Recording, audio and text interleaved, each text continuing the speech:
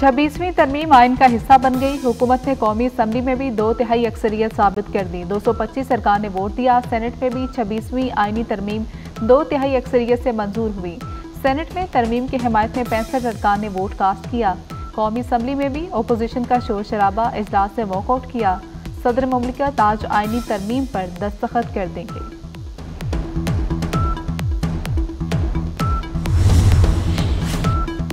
वजी अजम शहबाज शरीफ की आइनी तरमीम की मंजूरी पर सबको मुबारकबाद। नवाज़ शरीफ और शहीद बेनज़ीर भुट्टो को खराज तहसीन कहा कि मोहलाती साजिशों के ज़रिए हुकूमतों को अब घर नहीं भेजा जाएगा। आइनी तरमीम लोटा वोट से मंजूर नहीं कराई गई।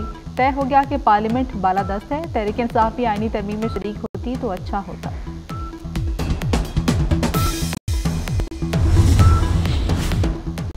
हुकूमत की बड़ी कामयाबी। छब्बीसवीं तरमीम की तमाम शिकें एक एक करके मंजूर की गई। जहूर कुरैशी, मुबारक सेब औरंगज़ेब खिची चौधरी उस्मान ने तरमीम के हक में वोट दिया।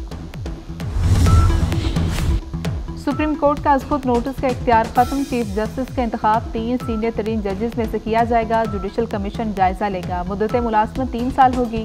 पैंसठ साल की उम्र में रिटायर्ड होंगे। वजी अजम और काबीना की सदर को इरसाल सिफारिश पर कोई इदारा और अथॉरिटी कार्रवाई नहीं कर सकेगी।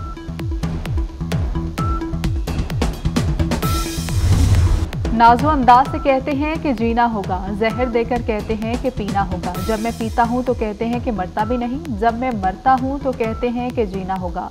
कायद मुस्लिम लीग नू नवाज़ शरीफ का मंजूम तबसरा। कौमी असम्बली में शेर सुनाया। मौलाना फजल रहमान ने नवाज़ शरीफ के शेर से मुस्कुराकर गलती निकाली।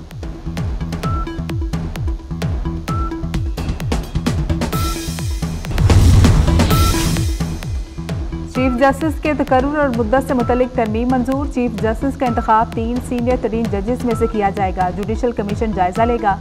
मुदत मुलाजमत तीन साल होगी। पैंसठ साल की उम्र में रिटायर्ड होंगे। सुप्रीम कोर्ट का खुद नोटिस का इख्तियार खत्म। आर्टिकल इक्यासी में जुडिशल कमीशन पाकिस्तान और सुप्रीम जुडिशल काउंसिल शामिल कर दिए गए। वजी अजम और काबीना की सदर को इरसाल सिफारिश पर कोई इदारा और अथॉरिटी कार्रवाई नहीं कर सकेगी।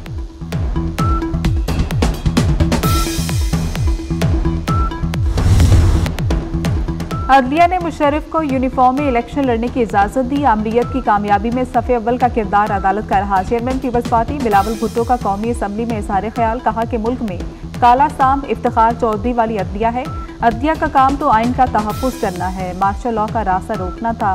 तारीख साबित करेगी कि छब्बीसवीं आइनी तरमीम अवाम के हक में है। कामयाबी में अहम किरदार मौलाना फजल रहमान का है।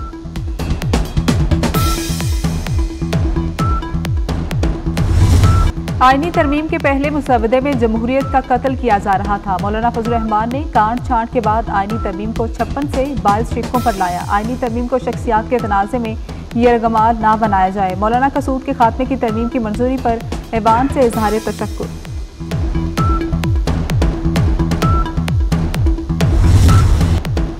जजेस के आसमान से आए हैं, उनका एहतसाब पार्लिमान करेगा।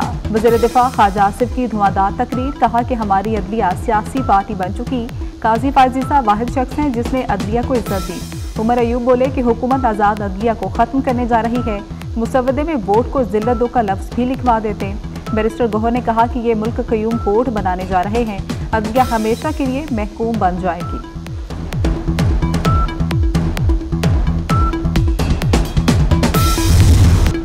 सुप्रीम कोर्ट में आईनी बेंचेस कायम किए जाएँगे। चीफ जस्टिस की तकरवी, सीनियर तीन जजेस में से होगी। वज़ीर कानून की तकरवी का इख्तियार बारह रुकनी पार्लिमानी कमेटी करेगी।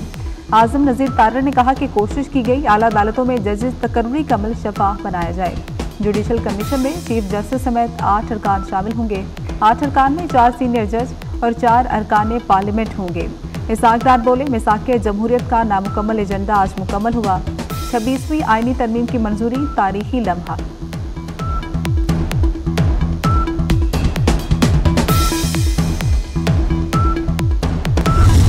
सूद के खात्मे के लिए जमीयत उलमा इस्लाम की तरमीम भी मंजूर। जनवरी 2028 से सूद का खात्मा हो जाएगा। इस्लामी नजरियाती काउंसिल से मुतलिक भी जमीयत उलमा इस्लाम की तरमीम मंजूर की गई।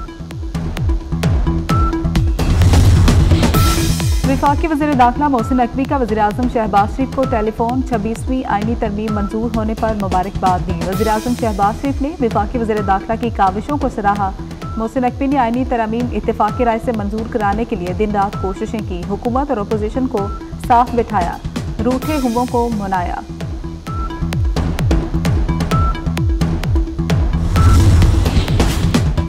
सेनेट में आईनी तरमीम के हक में पीपल्स पार्टी के तेईस, मुस्लिम लीग नून के उन्नीस, जमीयत उलमा इस्लाम पाँच, बलोचिस्तान अवामी पार्टी के चार मुतहदा कौमी मूवमेंट तीन, अवामी नेशनल पार्टी तीन, बलोचिस्तान नेशनल पार्टी मेंगल के दो सेनेटर्स ने वोट दिया।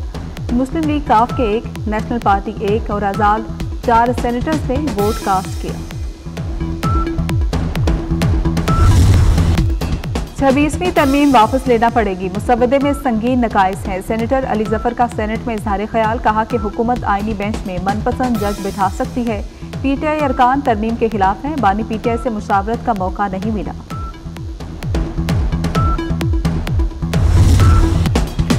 छब्बीसवीं तरमीम आयन पर हमला नहीं, हमें इसमें कोई नाक नज़र नहीं आ रहा। सेनेटर शरी रहमान ने कहा कि बिलावल भुटो जरदारी ने आयनी तरमीम पर वसी मुशावरत की। नाक के सामने बीन नहीं बजाते, उसे खत्म करते हैं।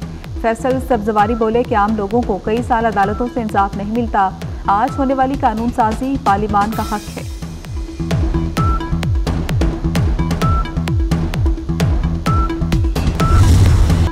अदलिया में अब सासू माँ के फैसले नहीं होंगे। सेनेटर एमल वली ने कहा कि हमें लाहौर ग्रुप के जजेस की ज़रूरत नहीं। आईनी तरमीम से साकिब निसार और खोसा जैसे जजेस का रास्ता रुक गया। सेनेटर अताउर रहमान बोले कि आईनी तरमीम के पहले मुसवदे से मुल्क को खतरा था। राजा नासिर अब्बास ने कहा कि मौलाना फजल रहमान की दानिशमंदी से बर्बादियों के इम्कान कम हो गए।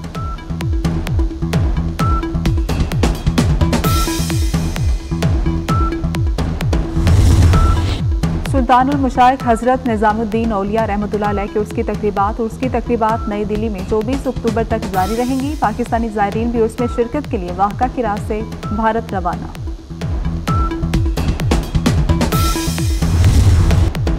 जजेस के आसमान से आए हैं? उनका एहतसाब पार्लिमान करेगा। वज़ीर दिफा ख्वाजा आसिफ की धुआंधार तकरीर, कहा कि हमारी अदलिया सियासी पार्टी बन चुकी।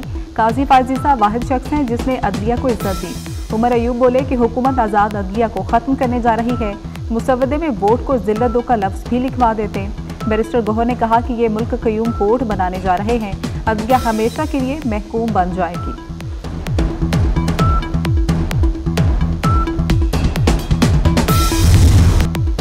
न्यूजीलैंड की खातन क्रिकेटर्स ने तारीख बदल दी। Women T twenty world cup का फाइनल कीवीज ने जीत लिया। आखिरी टाकरे में न्यूजीलैंड 32 रन से फाते। साउथ अफ्रीका की टीम नौ विकेटों के नुकसान पर 126 रन बना सकी। कीवीज ने मुकर्रा ओवर्स में एक रन का हदफ दिया था।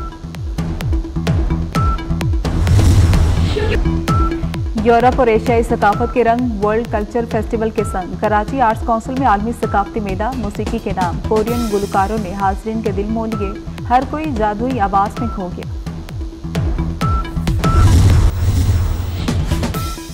और बख्तावर भुटो जरदारी के यहाँ तीसरे बेटे की पैदाइश बख्तावर भुटो ने इंस्टाग्राम पोस्ट के ज़रिए खुशखबरी शेयर की। कहा कि 20 अक्टूबर 2024 को तीसरे बेटे की पैदाइश हुई। सदर आसिफ अली जरदारी और बिलावल भुटो जरदारी की मुबारकबाद।